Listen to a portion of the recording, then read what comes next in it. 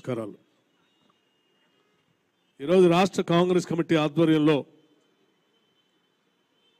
భారతీయ Janata party Shri Narendra Modi గారి నాయకత్వంలో ఈ దేశ ప్రజల్ని ఏ విధంగా మోసం చేస్తూ ఉందో గత పదేళ్ళుగా ఏ రకంగా మోసం చేసిందో రాబోయే రోజుల్లో కూడా మోసపూరితమైనటువంటి హామీలు ఇచ్చి ఓట్లు పొందటం కోసం ఏ రకంగా ప్రయత్నం చేస్తూ ఉందో వాటన్నిటికీ సంబంధించి రాష్ట్ర కాంగ్రెస్ కమిటీ నాయకత్వంలో ఒక ఛార్జ్ షీట్ని ఈరోజు రిలీజ్ చేయటం జరిగింది. మిత్రులారా మనందరికీ తెలిసిందే నరేంద్ర మోడీ గారి నాయకత్వంలో ఈ దేశంలో కాంగ్రెస్ పార్టీకి వ్యతిరేకంగా మాట్లాడుతూ ఈ దేశానికి నిరుద్యోగ యువత యువత యువకుల సమస్య వెన్నాడుతూ ఉంది. సంవత్సరానికి కనీసం రెండు కోట్ల తగ్గకుండా ఉద్యోగాలు ఇస్తామని చెప్పి మోసపూరితమైనటువంటి హామీలు ఇచ్చి దేశవ్యాప్తంగా ఉన్నటువంటి నిరుద్యోగ యువతి యువకుల్ని పదేళ్ళు అధికారంలో ఉన్నా కూడా మోసం చేసి ఇంకా మోసం చేయటం కోసం ప్రయత్నం చేస్తూనే ఉన్నారు.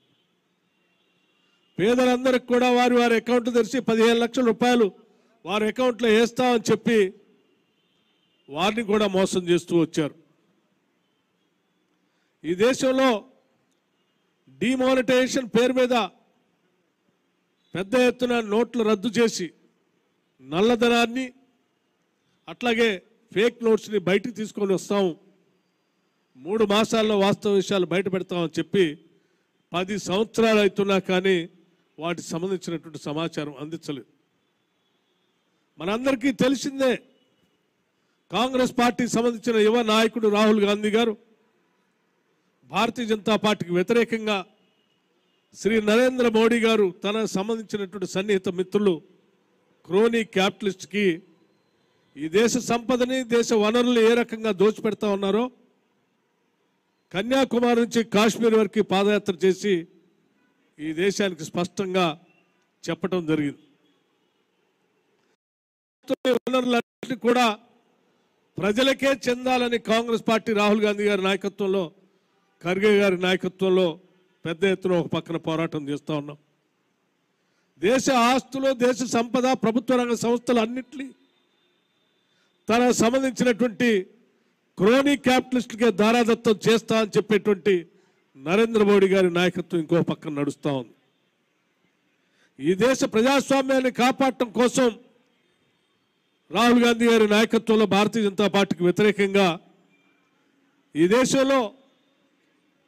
క్యాష్ సెన్సెస్ చేసి జనాభాలో ఉన్నటువంటి అధిక శాతం ప్రజానికానికి సంపదనంతా కూడా పంచడానికి ప్రయత్నం చేస్తున్నామని చెప్పేటువంటి కార్యక్రమం రాహుల్ గాంధీ గారి నాయకత్వంలో పక్కన జరుగుతోంది కాదు కూడదు కొద్దిమంది సంబంధించినటువంటి వ్యాపారస్తుల చేతుల్లోనే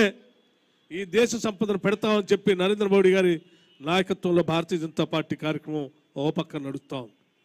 ఈ రకంగా దేశ సంపద గురించి ప్రజాస్వామ్యం గురించి లౌకికవాదం గురించి ఈ దేశ రాజ్యాంగం గురించి జరుగుతున్నటువంటి ఎన్నికల పోరులో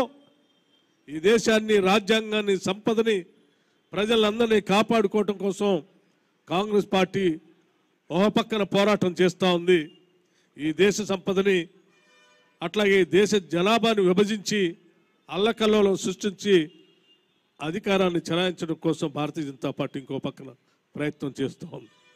వీటన్నిటినీ కూడా ఈరోజు కాంగ్రెస్ పార్టీ ఆధ్వర్యంలో మేము చాలా స్పష్టంగా ఛార్జ్ షీట్ విడుదల చేస్తూ రాష్ట్ర ప్రజలందరికీ విజ్ఞప్తి చేస్తూ ఉన్నాం. ఉత్తర భారతదేశంలో ఏ రకంగా అయితే